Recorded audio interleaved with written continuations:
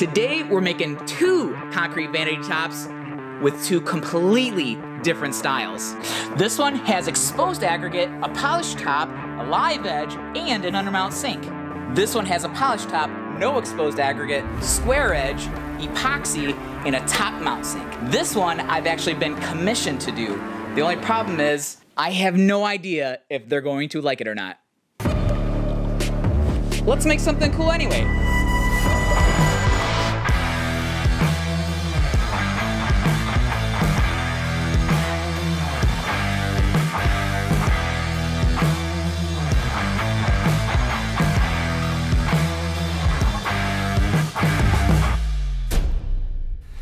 Just to give you a little backstory on both these projects, to give you a little bit of context, uh, this vanity top is actually for me and my family. We're gonna be doing a little bathroom renovation pretty soon here.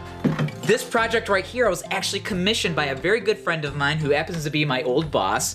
Uh, his wife, Maria, gave me several different design options, but in the end, she said something that every contractor fears most, which is surprise me but no pressure or anything. So I had to come up with two very unique designs here that will hopefully impress both my wife and Joe's wife. So now let's talk about building the molds for these two bad boys.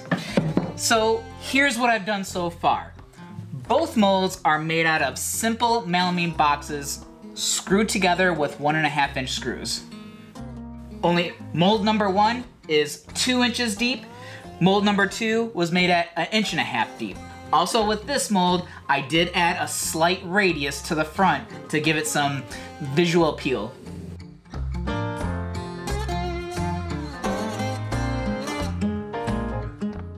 As far as the knockouts are concerned, for the faucets, on both molds there's our inch and a quarter PVC pipe. Now this time I wanted to try something new, so I cut slits in each PVC knockout.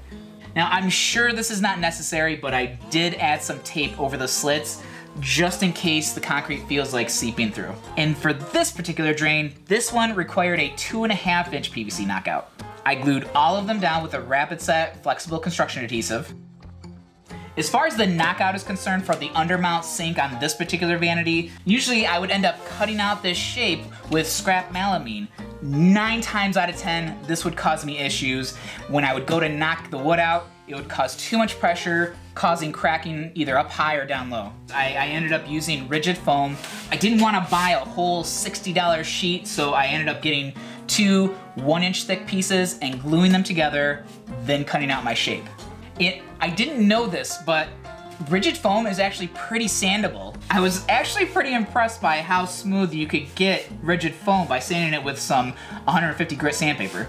But nevertheless, I still wrapped the sides with some packing tape. I glued that down into position on the mold.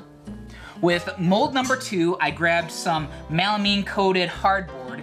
I graphed out the river pattern to scale and cut that out on the bandsaw. I later smoothed the sides out with a spindle sander. Of course, I am using the Rapid Set flexible construction adhesive to glue the river board pattern down.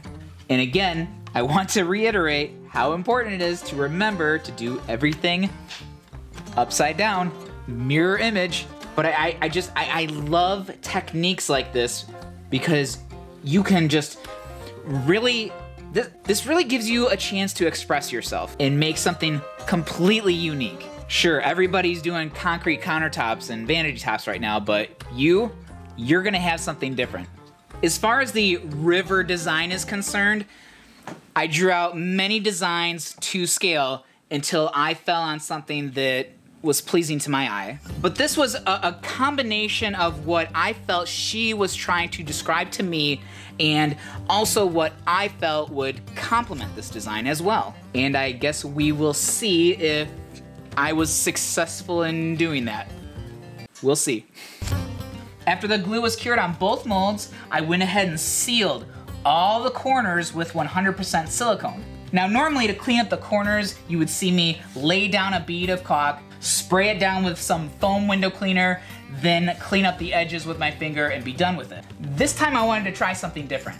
There's this trick that I've been dying to try. Now, this is not a new trick, this is an old trick that I've been seeing other people do, but they take a ball bearing and they glue it to a, dowel rod or a stick or some, of some kind, I'm gonna use a CA glue called Thick and the accelerator to make my life a lot easier. Uh, there's an affiliate link down below for this if you're interested. Lay down a bead of silicone, then they run this ball bearing along the corners, wait for the silicone to dry, then they peel the excess off. This is just nowhere near as easy as what I've seen in other videos to take off, but I can definitely see that the results are way better than the way I usually do it. It's, it's much smoother and way more consistent. I'm thinking that maybe I skipped a step two. I feel like maybe in other videos I've seen them wipe it down with like a, a paste wax first, and maybe that's what makes this so much easier to peel. Oh, oh, so much easier to peel off. On mold number two, we're going with flat sides and a slight radius on the corners. But on mold number one, we're gonna go with a live edge with the assistance of this edge mold. I've got a link down below for these edge molds. These are fantastic. My favorite thing about these is that you can use them over and over and over again. But that's why I created this exit out the back so the excess can exit out the back without me having to, to cut this so that it can use this in other molds. But please, don't forget to make an allowance for the thickness of the edge mold to your dimensions. I reminded myself to do this, I wrote it down in my notes, and I still forgot, and I still had to make this mold base over again. Now it's time to move on to the blue fire glass, but before we do that, I gotta show you something real quick. So, a friend of mine woke up one morning and decided that he was gonna start making custom rugs. Um, Anyway, he made me this awesome custom rug. I'm gonna leave a link down below to his Instagram, Laced Within. He does an absolutely phenomenal job. He'll make you whatever you want. And he's not just good at making them look cool, they actually, they, they're quality. And oh my God, is it soft. But uh, I've only got one problem with these rugs, and that it is too nice to put on my floor it, it only makes sense to be on the floor in my shed, but I can't bring myself to do it. It's gonna get dirty. So go check him out on Instagram, Laced Within, give him some love. So in order to do this, we're going to glue the fire glass down with some spray adhesive. Now what I've done in the past is I would spray some spray adhesive and then place the pieces of glass individually. This time I'm gonna try something different. So now I've taped off the next design, sprayed down the spray adhesive, and then I'm just gonna pour the glass right over the adhesive areas. Afterwards, we can go ahead and take off the tape and the glass won't stick anywhere I don't want it to.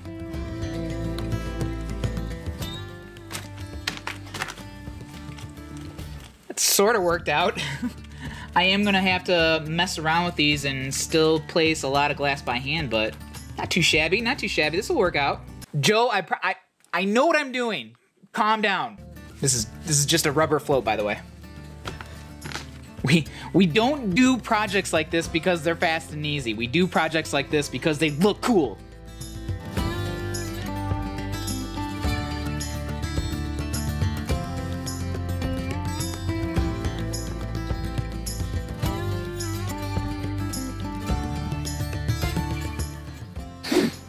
it's finally time to pour. I got both my molds both prepped and ready to go. I've prepared my metal reinforcement. I got my tools and my mixing stuff and my water all right here ready to go.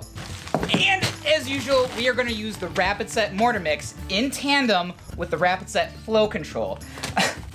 the funny thing about this is that this is not a concrete countertop mix. This was never intended to do such a thing, but it can do it anyway.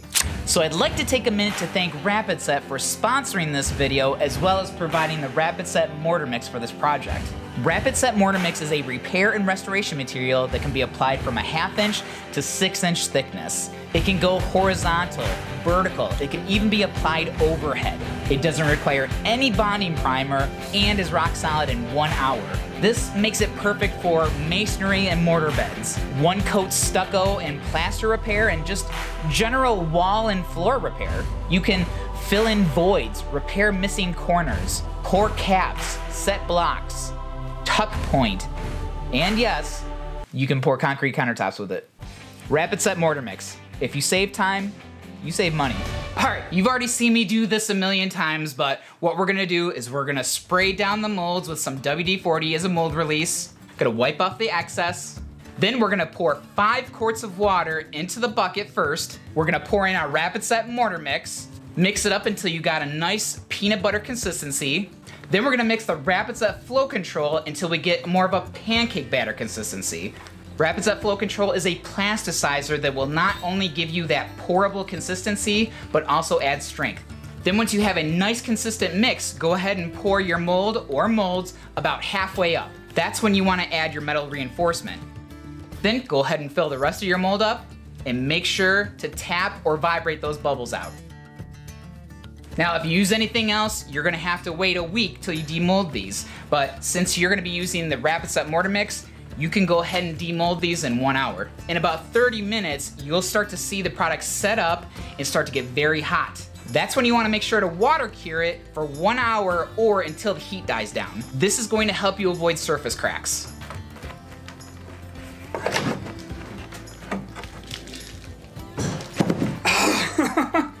and then there's the reveal.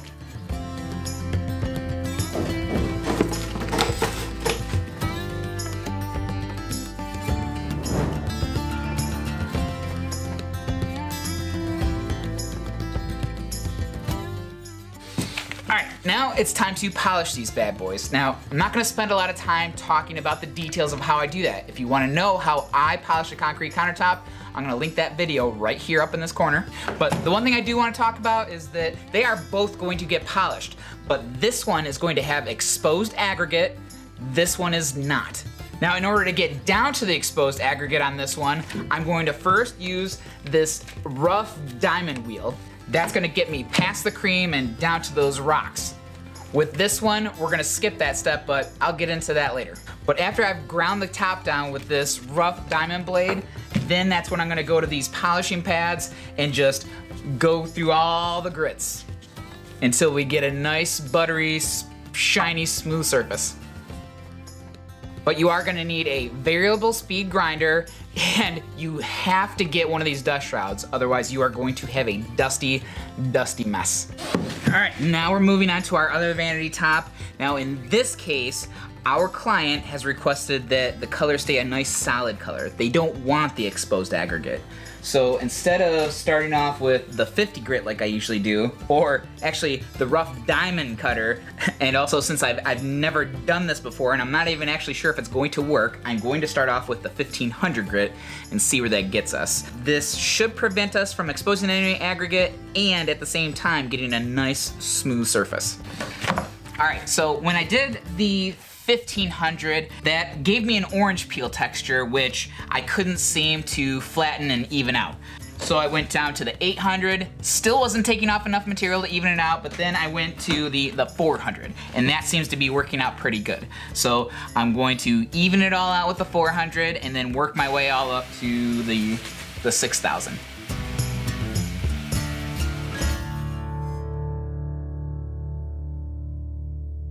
Mounting the undermount sink is very easy. We're gonna flip our top over and with a masonry bit, we're going to drill some holes that are just a little bigger than the threaded metal sleeves. This is gonna leave some room for the one minute epoxy that we're gonna inject into the hole to glue them in place. After the epoxy is cured, we're gonna lay a bead of silicone around the lip of the sink, set it in place, install the metal brackets that were included with your undermount sink, and you're done. This one's all done, but I won't be installing this one in this video. Uh, I still have to make the vanity cabinet, which is going to be in another video, which I'll make available right here when that one's done. All right, up next, we're going to pour the epoxy. But before we do that, I've got to make a border to contain where I don't want the epoxy to pour off. So in order to do that, I'm gonna get pretty much any kind of wood I want and I'm going to cover it with Tyvek tape so that it will release from the epoxy better. Then I'm going to seal them up with 100% silicone, clamp the sides and let it cure. All right, this concrete top is ready for some epoxy. I've uh, glued some borders to the top with some 100% silicone. I have sealed it with a concrete sealer that I've been using called Simple Coat. So all that's left to do is to mix up the Total Boat thick set epoxy, color it, and pour. All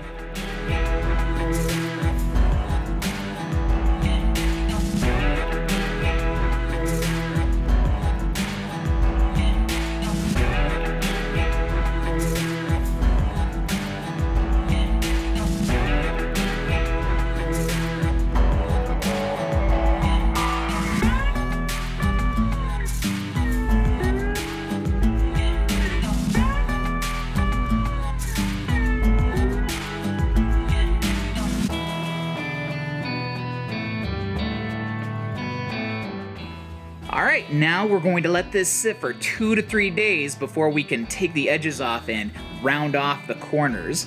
But before this cures, don't forget to run a blowtorch across the surface to get rid of those surface bubbles.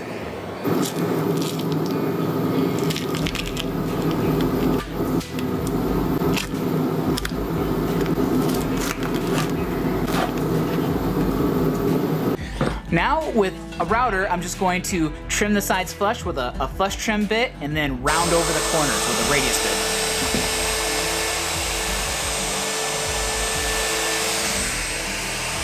So I've taped off all the concrete. I've given the epoxy a light sanding with 220 grit. Now we're just gonna mix up just a little bit more epoxy, do a top coat so that it can fall over the sides to hide these machine marks. Let it cure for a couple days, and then we're ready for install. Yep, she's ready for install. What do you think?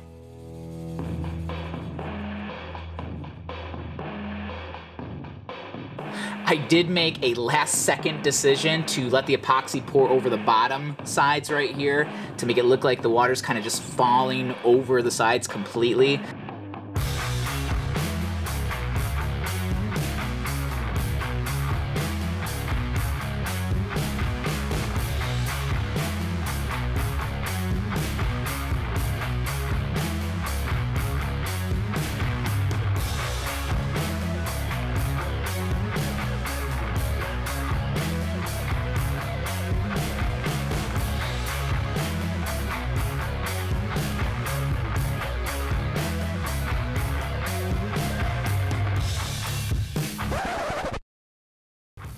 So, minor hiccup. Uh, I unfortunately will not be able to show you the final install of this vanity top in this video. Uh, the scheduling just wasn't working out and I gotta get this video out to you guys. So I promise I will make a separate video very soon on the installation of this vanity top and I will link it when it's ready right here. But I hope I still inspired you today and thank you for sticking with me on this one and I hope to inspire you in the next video.